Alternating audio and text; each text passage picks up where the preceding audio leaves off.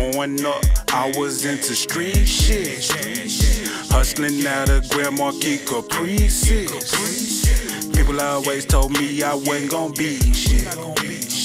But I always knew that I would be.